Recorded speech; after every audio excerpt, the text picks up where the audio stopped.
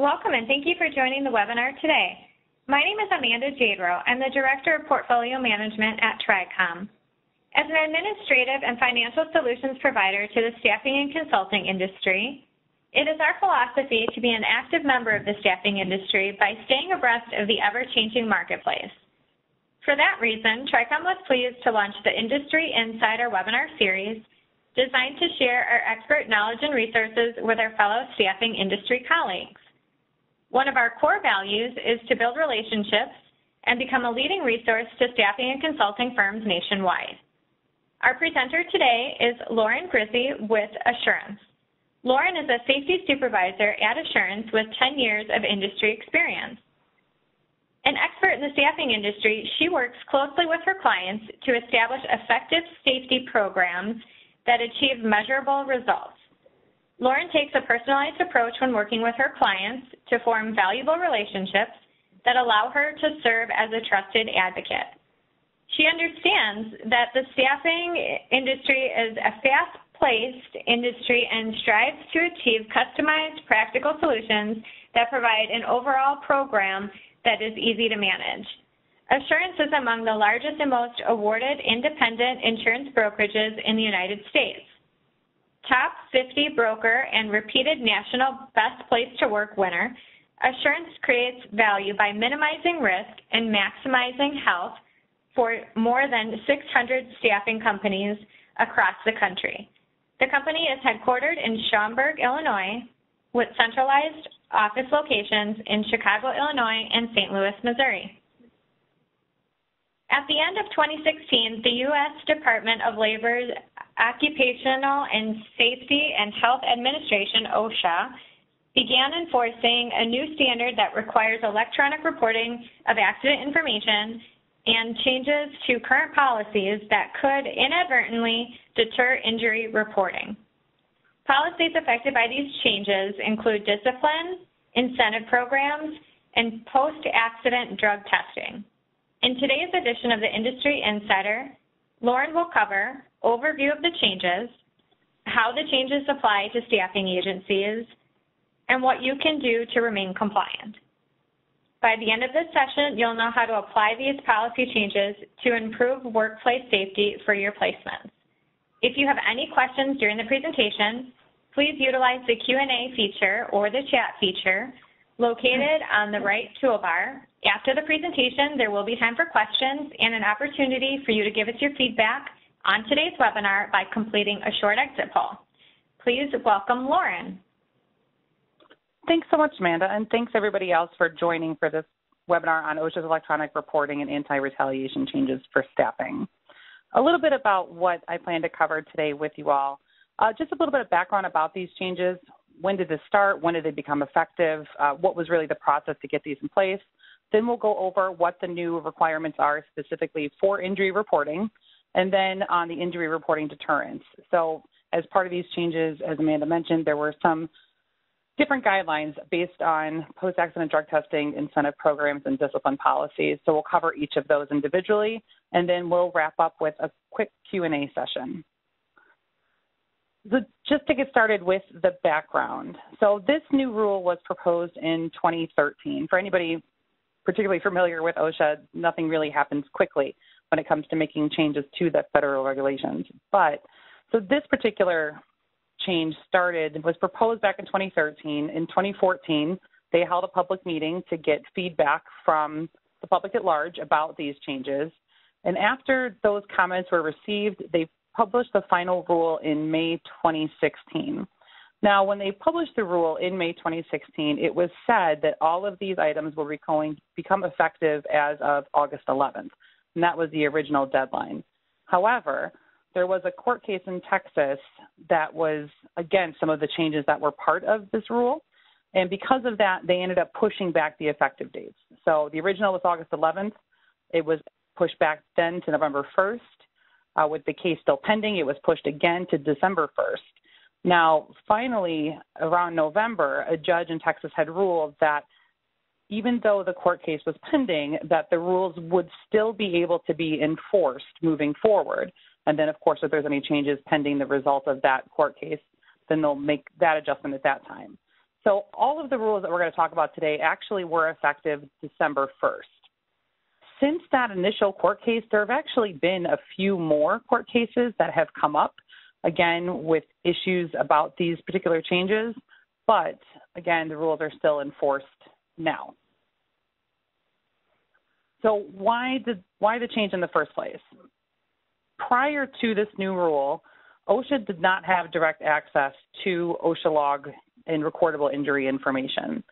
There are methods in place for them to access some of this information, but more on a random scale. So the Bureau of Labor Statistics will send out surveys every year to companies in different industries to come up with industry averages for injuries. However, that's the Bureau of Labor Statistics that's getting that information. So OSHA can get the bulk information, which is the same thing that's available to us as public, but they weren't able to see for a specific company who was having a larger amount of injuries than others. So the only time OSHA would really see a company's OSHA log would be if they were on site during an investigation. In their publication of the rule, they have said that they believe that being able to collect this information directly would serve a few purposes.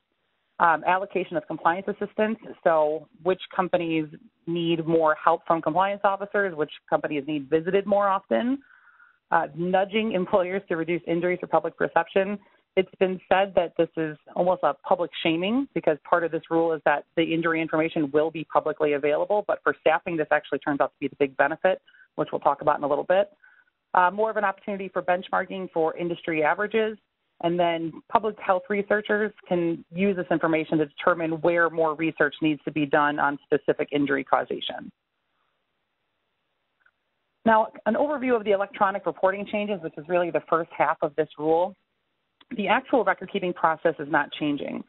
So, for anyone familiar with OSHA record keeping and OSHA logs, uh, normally for temporary staffing, you do not need to keep a log for injuries that happen to your temporary employees, and that does not change.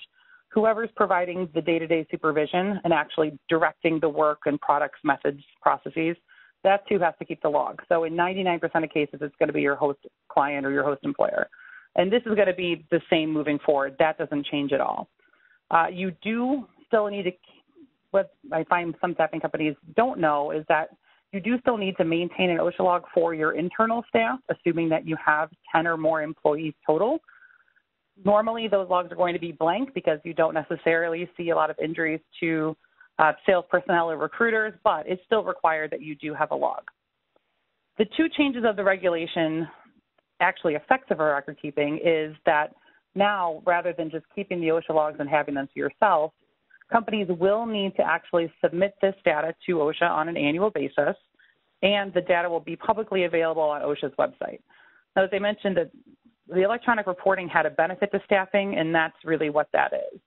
So, whereas now uh, staffing companies hopefully all know that you are able to go on OSHA's website and look up a specific company to see if they've had previous OSHA citations, what those citations were for, when the inspection was, when they were corrected, what the penalty was. And that information can be really helpful in determining uh, specific focus items when you're going out to a client or a prospect. Now, with this change, their injury information will also be available publicly on OSHA's website. So rather than having to ask a prospect or a client for their OSHA log, you would be able to go on to OSHA's website and actually pull that information up, assuming that they're one of the companies that are required to submit them. There's going to be two different groups of requirements for who actually has to submit these logs. Um, one for 250 or more employees at one location, and one for locations with 20 to 249 in high risk industries. And we'll go over the different requirements for each. So, for companies with 250 plus employees, they will need to report on an annual basis. The first deadline is going to be July 1st, 2017 and at which time they'll have to submit their 300A form, which is just the summary form, the one that's normally required to be posted between February 1st and April 30th every year. It doesn't give you any information about exactly what happened with the injury, but it just serves as an overall summary of how many cases they had, how many were days away from work, how many were job transfer restriction or medical treatment only. After this year, next year by July 1st, 2018, anybody with 250 or more employees will have to submit their 300A form along with the log and any corresponding 301 forms, which is essentially an incident report. So it'll be really everything that they're required to maintain per the record keeping standard. They will have to submit all of that information to OSHA by July 1st, 2018. The year after, the deadline will be moved up to March 2nd. And then again, it'll be the same information that they have to submit, all of the OSHA forms from the previous year. And then every year, what they submit will be the same, and the deadline will remain as 3 2. For the first two years, OSHA gave a little bit of leeway to move that to July 1st. But after that, it'll move to March 2nd since the OSHA logs for the previous year should be completed and wrapped up by that February 1st deadline anyway, when the 300A form is required to be posted. Now, for companies with 20 to 249 employees in high risk industries, which we'll go over what's a high risk industry in a minute, they will also need to report on an annual basis. Uh, deadlines are the same 7 1 for the first two years, and then 3 2 for every year after that. The big difference is for these companies or these industries, they will only have to report that 300A summary form data. So they won't need to actually submit their OSHA log and all of their incident report forms. They'll just need to submit that summary to OSHA on an annual basis. Now, as far as what is a high risk, uh, the list that was released was considered an all inclusive, but a remarkable amount of industries, a lot that you would see companies working with with staffing agencies are on this particular list. This is not the entire list, but this is just an example of some of the industries that are included. The one notable item is that um, manufacturing as a whole is on here. So the list that OSHA put out is based on NAICS code, so the North American Classification System. Now, in this case, um, by using codes 31 through 33, essentially any company that manufactures anything is going to fall under that high risk industry. So if you have any clients that fall under manufacturing, they will be required to report that data. Warehousing and storage is also on here, uh, medical facilities, nursing care facilities, uh, services to buildings and dwellings normally includes custodial workers. So just a few examples of some of those industries that will have to report moving forward this year. If you're going to have to report, uh, there's going to be three options to do so. You'll either be able to manually enter that data, upload it from Excel, or transmit it electronically from your record keeping or HR system. Now, a lot of cases, staffing companies are not going to have to report uh, because either A, you don't have a location with 250 more employees, again, talking your internal staff, not your temporary employees, and B, you don't staffing isn't one of the industries that was listed on that high risk all inclusive list. So in most cases you are not going to have to report. The injuries that happen to your temporary workers should be on your client's log. So when they're reporting to OSHA, the injuries from your temp employees should be on their log and should be reported as part of that submission. If you're currently keeping logs separately from your clients, it may be a good time to have that conversation with them to make sure that they understand that they have to submit everything together. The website to submit was supposed to be live in February. So when this information was released, uh, late December last year, they had said that by February the website would be up and running for everyone to start submitting that data. However, as of probably two days ago, the information that website is still not up and running. So the if you go to the website, it'll say that you don't have to report anything at this time, that it will be available. It'll have updates on their website. However, still not up. The deadline, though, is July 1st, and we're recommending that everyone wait till a little bit further to that July 1st deadline anyway, since there could be changes from now until then. So even though the website's not up and running, there's still time for that deadline. Also, when they released this information, they had mentioned that at some point they want to put a mobile app in place to report this data. Um, given that the actual website isn't up and running, I think the mobile apps probably are far ways out, but that is part of the goal in rolling out this change. So frequently asked questions about the electronic reporting changes. So establishment size, is that location or company as a whole? So for the electronic reporting piece, the establishment size is per location, not company wide. So when we're talking about an establishment with 250 plus employees, we're talking at one specific facility. when you're looking at overall record keeping requirements, so if you have to maintain a log, as I mentioned earlier, so any company with 10 or more employees has to maintain an OSHA log, that's actually a company wide requirement. But since OSHA logs are kept on a facility or a location basis, in this case, establishment is per location. Now, that total size of employees is going to be determined based on peak employment during the last calendar year. So, whatever the highest amount of employees was at that location, because it does include full time, part time, seasonal, and again, temporary workers. So, if you have a client that has, you know, there's 300 employees total at the facility and 225 of them are yours, they easily fall over that 250 if you add theirs plus your employees. So you want to make sure again that they're reporting that. As far as personal information, so on the OSHA 300 log, there is actual individual names for each injury. In those cases, um, that information is not going to be posted. Obviously, there are privacy guidelines in place for that sort of thing, and this information will be publicly available. So any personal information that is submitted to OSHA will be removed prior to posting it on the website. If you're not 250 plus and more employees at one location and you don't fall into one of those high hazard industries with the 20 to 249 employees, you may still have to report electronically at some point, but it'll be more on a random basis. So as I mentioned, the Bureau of Labor Statistics now already does that where they choose companies randomly by industry. OSHA is reserving the right to be able to do that if there's a company that they would like to see the OSHA log data from that they don't fall into one of those categories that are required to submit it, then they could still potentially request that information from you at some point.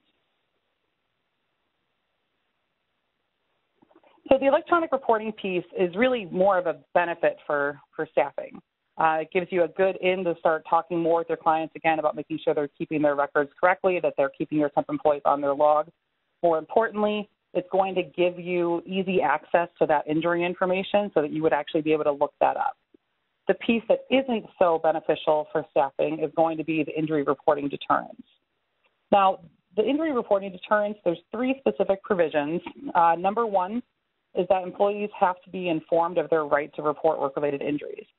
Now, all this is easily met just by posting the OSHA poster, which in a lot of cases, if you have like the federal poster package or anything like that, you probably already have that included as it, as part of it.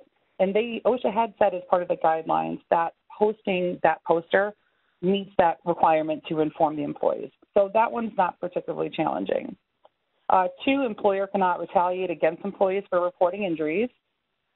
And three is really more of the questionable item. The employer's procedure for reporting injuries and illnesses can't deter or discourage employees from reporting. Now, in that particular provision, they focus on three specific common policies discipline, post accident drug testing, and incentive programs. And we'll talk about each of those separately. Discipline policies. So, when OSHA is looking at discipline policies that are potentially deterring injury reporting, they're more worried about situations where employees are being disciplined only for the fact that they reported an injury. Some examples that they provided as part of this guidance um, employees who report injuries being disciplined more severely than others who were also working the same way. So, a good example of that would be if you have four employees that were all performing the same action, uh, which is against whatever the safety rule that's already in place.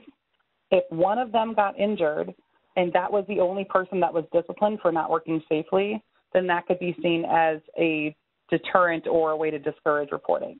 If all four employees were working in the same unsafe manner or were all breaking the same rule, even though the other three did not get injured, all four should be disciplined as part of that. Two, employees who report injuries um, being disciplined for vague reasons, such as they weren't working carefully enough or they weren't being safe enough. So you want to make sure that when you're wording why you're disciplining somebody, if they're being disciplined after an injury was reported and there doesn't seem to be a specific safety rule tied to it, OSHA said there's a possibility that you're just using that as a way to deter. Um, policies that make employees who report injuries ineligible for promotions, and automatic poor performance evaluations for employees who report injuries.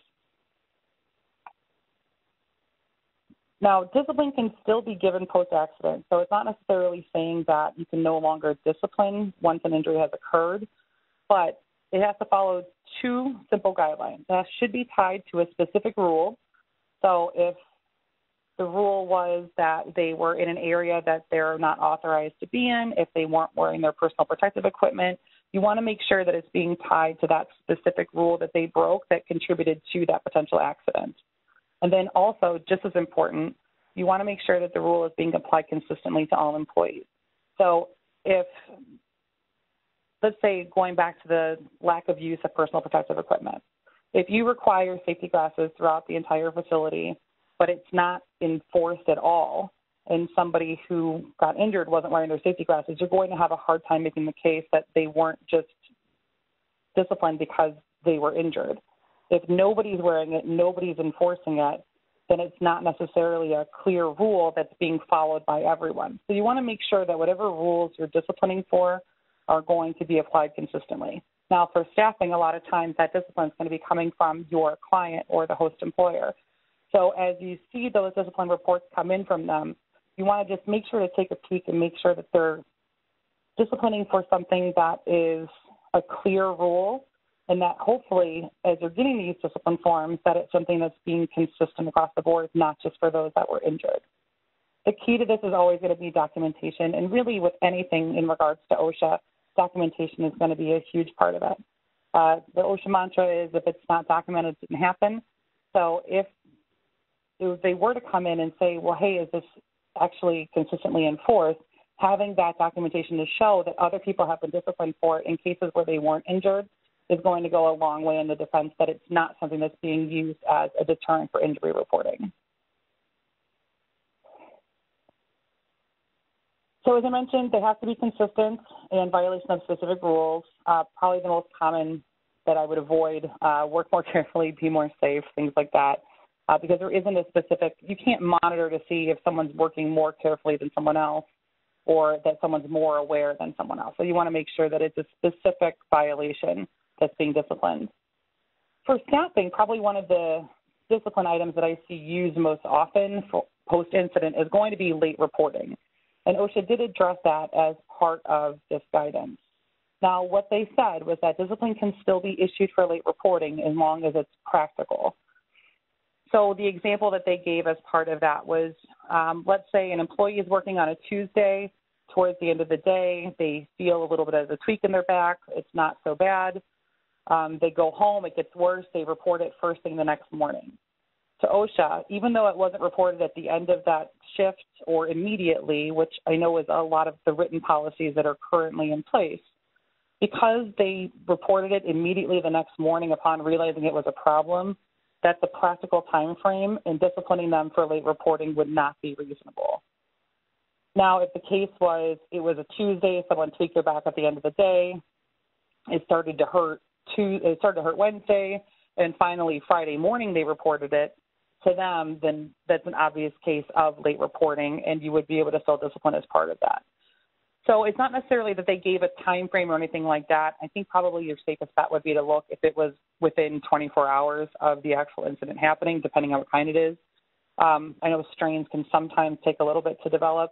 Something like a laceration is going to be much more immediate, so that you'd have a pretty clear time frame on what would be considered late reporting. But you just want to use your judgment as you're looking at those incidents coming in. And if you're going to issue discipline for that late reporting, think about whether or not would it be considered reasonable that they could have reported it before they did. The post accident drug testing changes is really the most controversial piece of the new regulation. Those court cases I mentioned earlier on that are pending, uh, the original court case that was holding back the enforcement date of this was specific to the post accident drug testing. Now, it doesn't necessarily ban post accident drug testing, but it prohibits employers from using drug tests or the threat of drug testing as a way to deter injury reporting. So, what OSHA believes should be done is that when an injury occurs, that specific injury should be looked at to see if whether or not drugs could have contributed to the accident.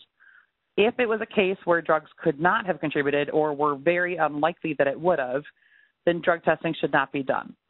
The whole thought behind this being that post accident drug testing isn't supposed to be used as a punishment or as a way to potentially terminate someone that's injured.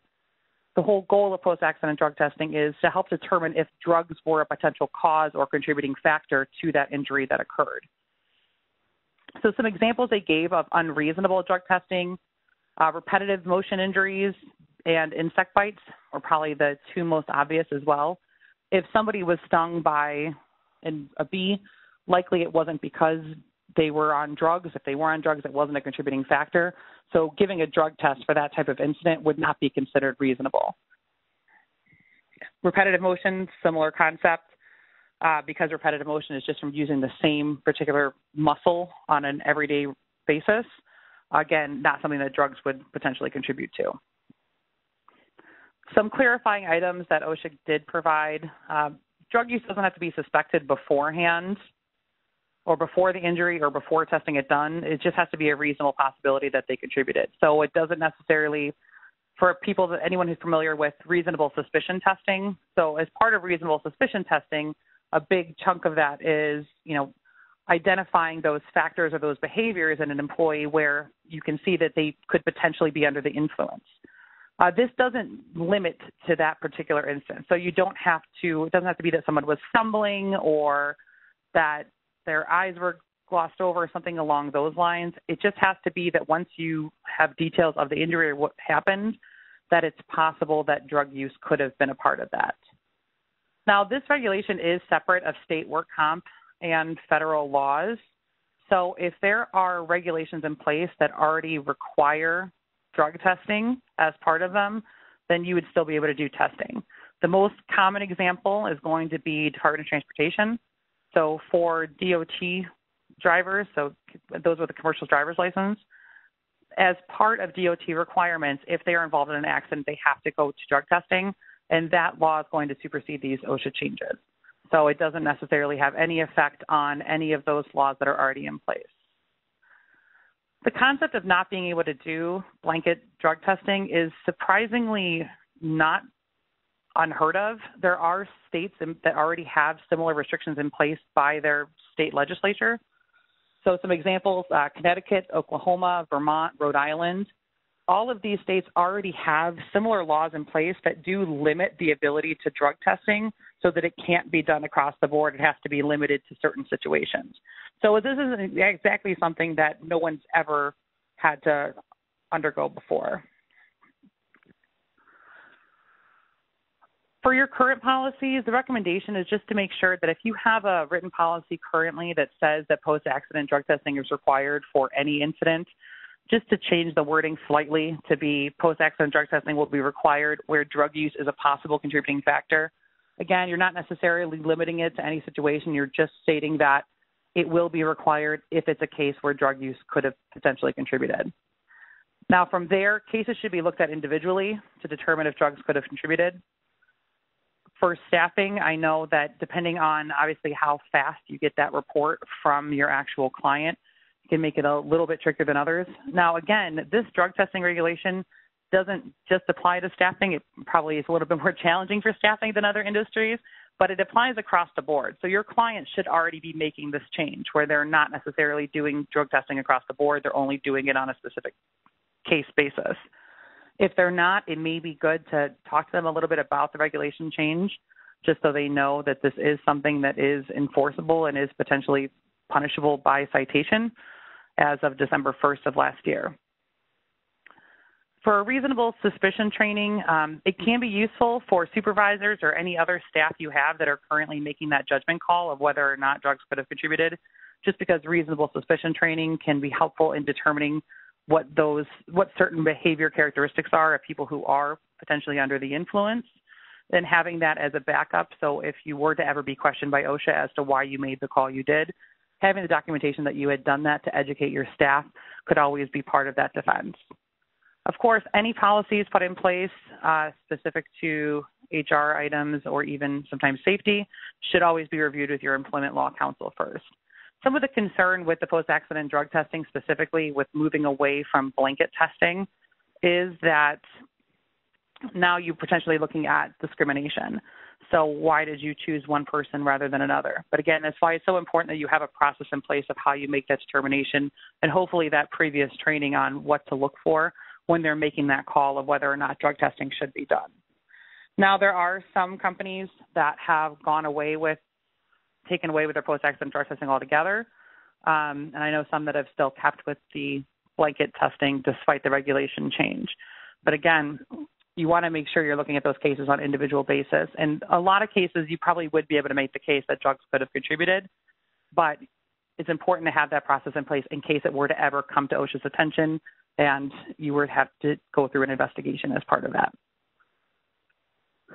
After the initial release of information, there was an additional guidance piece that was put out afterwards. Uh, some key takeaways from that additional guidance uh, the changes to the post-accident drug testing have no effect on pre-employment or random testing. So if whatever you're currently doing for screenings, whether it be by client request or across the board, uh, this doesn't change any of that. Uh, random drug test policies, so when you have either usually a, a, third party or some other kind of system to randomly choose names of who to do drug tests for, again, this has no effect on that whatsoever. Testing for alcohol should only be limited to whether or not impairment could have been a factor. Uh, kind of the breakdown of that is alcohol is a drug which leaves your system particularly quickly. So if somebody reported an accident three days later, doing an alcohol test doesn't actually give you any information about whether or not alcohol contributed to the accident, which is the reason why you're doing the testing. So depending on the time frame after the accident when the testing is actually occurring, we want to make sure that you're limiting it just to what's going to help you determine that root cause or come up with another factor of that root cause analysis. Now, OSHA would like to do something similar with drug testing so that you would be able to limit depending on how like you know how long the drugs have an actual effect on your system and how long they will impair the employee's judgment or behavior However, there isn't enough data or research out at this point to come up with a specific time frame on when would be too late to drug test. So as of right now, they're just focusing on when alcohol testing is used. There are some examples where state work comp laws will supersede. So a couple of those. There are a few state drug-free workplace programs that require post-accident drug testing for premium reductions. Now, this is when you're with the actual state, insured by the state. In those cases, you would be able to continue. If your private insurance carrier provides a premium discount that's in line with the applicable state law, it would be the same thing. Then you would ha- you wouldn't that would supersede this new OSHA change, and you would be able to keep drug testing across the board. There aren't that many states that have these laws in place, but it could potentially be a factor. Uh, the last guidance they had given so if you are part of any kind of collective bargaining agreement, so if there is a union at any of the facilities that you have employees placed at, and testing is required as part of that agreement, that is a case where it is not, um, it does not supersede OSHA. So you would have to either amend that collective bargaining agreement or be in violation of the OSHA rules you would not get a pass just because it's within the collective bargaining agreement. When actually examining these different scenarios and cases as OSHA is looking at individuals' programs, there's going to be three main factors that they're looking at. Number one, again, whether or not it's a reasonable possibility that drugs could have been a contributing factor and provide some kind of information or insight as to why that injury actually occurred. Two, uh, employees involved in the same incident or engaged in the same behavior were also tested, whether or not they were injured. Or three, if there's a heightened interest in determining drug use, depending on the hazardness of the work. Uh, there is, so we mentioned some of those state states that already have a program in place that limits drug testing post accident. So Connecticut, for example, is one of those. And the way the Connecticut law is written is actually that drug testing can, also, can only be done for safety sensitive positions. And this phrase is used in a couple other state legislatures as well. And in this case, safety sensitive means it's a position where the safety and awareness of that particular employee is heightened just because of the hazardness of the work. Probably the most common example of this is going to be a forklift operator. So if there were a case where a forklift operator were to have injured another employee, say a pedestrian that was walking by, in that case, the injured employee actually shouldn't be tested. It should be the forklift operator that struck them, depending on the circumstances. But in most cases, that's going to be one of those safety sensitive positions. Uh, because not only could they potentially do harm to the employees around them, but also the, the risk of property damage and real catastrophic loss. So normally, always equipment operators are going to fall into that category where drug testing should almost always be done. The last of the three provisions was talking about incentive programs.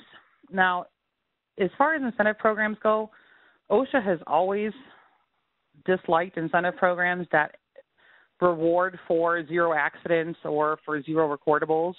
However, it was never a regulation or something they could enforce. It was just something that they had frowned upon. Now, in this case, with this change of regulation, these are actually going to be considered a violation of the rule if an incentive program is in place that is based on zero accidents or no recordables. Uh, they define it as really any program that takes adverse action against employees who report an injury be seen as a violation. So the goal is to refocus incentive programs on proactive safety behaviors rather than reactive. So whether or not injuries occurred or whether or not injuries were reported.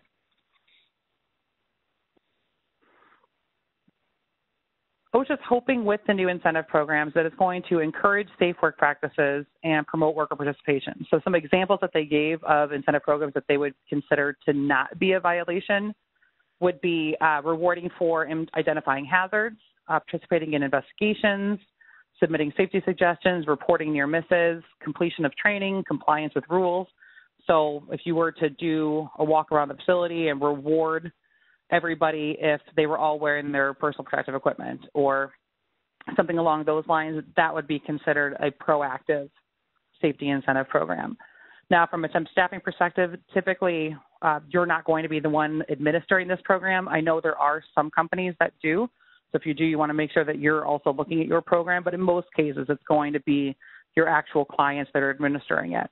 So again, it would be a good time to educate your clients that do have similar programs like this in place to let them know that this is a violation under the current OSHA regulations and hopefully work towards moving the program into a little bit more of a proactive realm.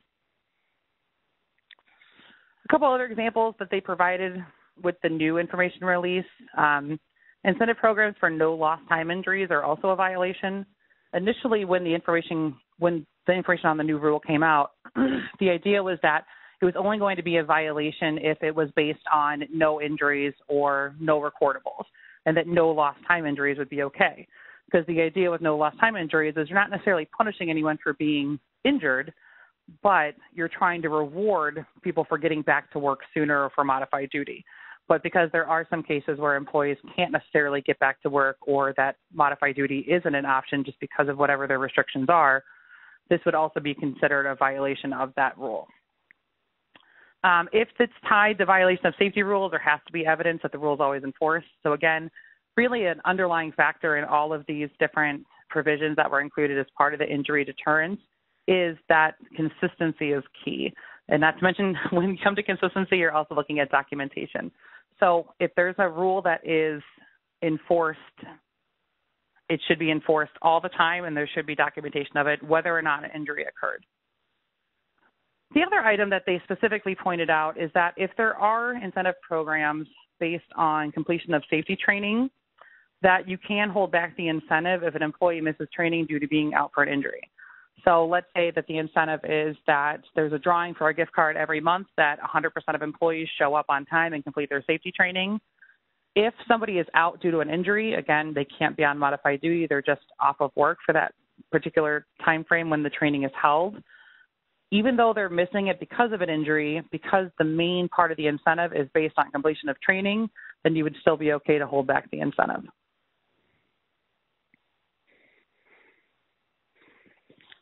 Some frequently asked questions on the injury reporting deterrence. Um, probably the most common is wasn't it already a violation to deter and retaliate against injury reporting? And the answer to that is yes. It's always been part of OSHA's regulations that you can't deter an injury or an employee from reporting an injury, you can't retaliate against them. However, the previous rule was that if employee had to actually complain directly to OSHA within 30 days, and then they could open an investigation into potential retaliation. Under this new rule, it's a standalone violation. So if OSHA is on site based on an employee complaint or because of a response to an accident, they would be able to look at these policies as part of that visit and potentially issue a violation even if there hasn't already been a specific complaint. Again, these new rules were effective August 1st. Um, they were supposed to be effective August 10th, but they were pushed back because of that court case. But they have been now active for, give or take, four or five months. Some additional items to consider um, OSHA is part of the Department of Labor, which is part of the federal government, meaning that OSHA has a unique spin with every president that's in office. In this case, there has been a lot of talk that with President Trump that there may be some repealing of these particular changes. I know there was another rule that he already was successful in getting repealed regarding how long someone can be cited for not keeping accurate OSHA logs. So the idea is that he may jump in, particularly for this. But as of right now, there hasn't been any talk about the time frame for that. So still business as usual until we hear otherwise. Uh, some states have their own OSHA programs. So probably the most famous would be California has Cal OSHA. Now, with the state-run OSHA programs, they have uh, essentially everything has to be the same as federal government. They can just put more stringent requirements in place. So, federal government is a bare minimum, and then anything on top of that, they can do in an individual state program. When these changes were effective on a federal level, any change that happens to OSHA on a federal level, state programs have up to six months to adopt the changes, but they could implement sooner. So anytime you're looking at a deadline for that federal puts out, which is the deadlines that we talked about in this case, it could be further depending on if you're in a state with a state-run OSHA. So something to look at if you are in one of those states. So a quick summary, again, any location with 250 plus employees or ones with 20 to 249 in a high hazard industry will need to submit their OSHA data by July 2017, so July 1st this year. Any information um, after that will be required annually moving forward. Again, July 1st again in 2018, and then March 2nd every year after that. A current It's the Law poster should be posted, whether as a standalone poster or as part of your overall poster package. Policies such as discipline, post accident drug testing, and incentive programs should be looked at not only your policies, but also your client policies that you're aware of to make sure that they are within the current regulations and aren't discouraging injury reporting. And then, of course, as any more information comes out, it'll be available on, on OSHA's website as well as distributed. Any questions from the group? Okay, I have a couple of questions that have come in. Um, the first question, it looks like you may have answered, but it was um, a question relating to the Trump administration and if any of the repeals um, could happen in the new administration.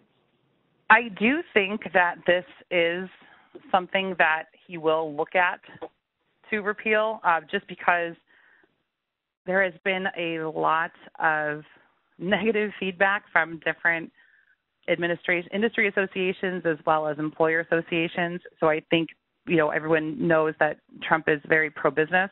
I think this will be something that he may look at. I do not think it'll happen before that July 1st deadline. I don't necessarily know if it'll happen even before the end of this year. So I do think that the July 1st deadline will still come in as promised, but I do think it's something he may try to look at doing down the road. Okay. Another question, how does the electronic reporting rule affect staffing agencies with on-site personnel? So with on-sites, um, the rule for record keeping as a rule of thumb is day-to-day supervision. In most cases, the reason I say in 99% of cases that staffing companies won't have to maintain logs for their temp employees is because in most cases the on-site person is only really performing HR functions. So it's going to be, you know, making getting attendance, maybe doing walkthroughs, making sure they're wearing the appropriate PPE, things like that. Not necessarily that they're actually going out and saying, okay, today we're short on product A. I need you to work on B. Here's exactly the methods and processes to do it. If you have an onsite that's actually directing work to that level, where they're choosing what products made, what the processes are, um, and monitoring that on a regular basis, then you may actually fall into that where you're performing day-to-day supervision, but in most cases you never are. So even if you have an on-site, uh, the temporary employees would still fall under your client's OSHA log, and they would still need to report them as part of theirs. Okay, so kind of a follow-up question to that. So whose responsibility is it to have the temp off-site employee fill out an accident incident report, the host company or the temp agency? So it depends on, I guess when you're talking about the, the accident incident report, it's going to depend a little bit. So if it's, I'm assuming when you're saying an offset employee, you're talking about somebody from your specific agency like who's going to, to fill that out? Or there's two different types of forms, right? So when you're looking at the actual claim reporting, the first report of injury form, that's going to be something on you because you're responsible from them from an insurance or a work comp perspective. Um, as far as the OSHA's definition of like the 301, the accident report that's required for every injury on their log, that's going to fall under the host employer that they have to have that completed. Okay. Does that hopefully that answers that? Yep, it looks like it did. I got to thank you. So, okay, great. Um, is there a specific list of the types of in, incidents that can or cannot have a post-accident drug test? Unfortunately, no. When the when the rule came out, this was probably one of the more commonly asked questions. Is that, and I think just as an overhaul of humans, we want things to be you know as clear as possible.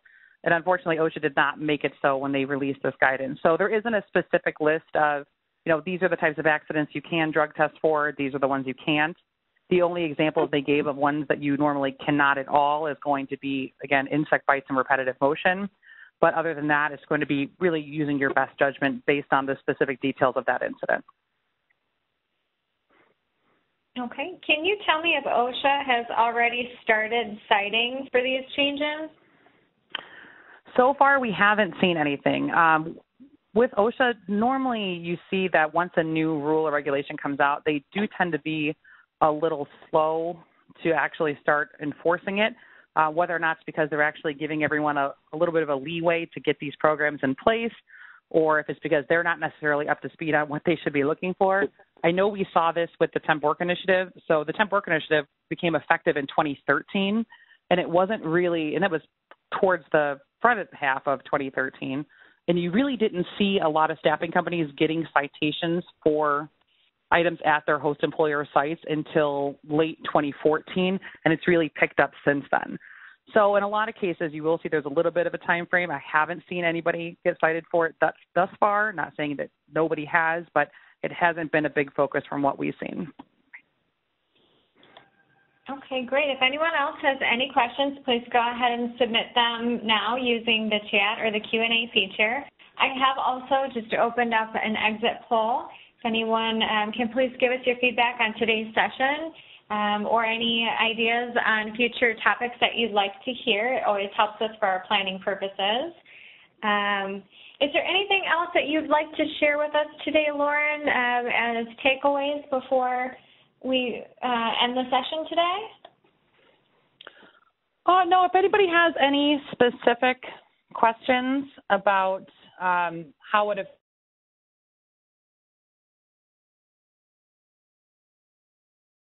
Lauren, are you there?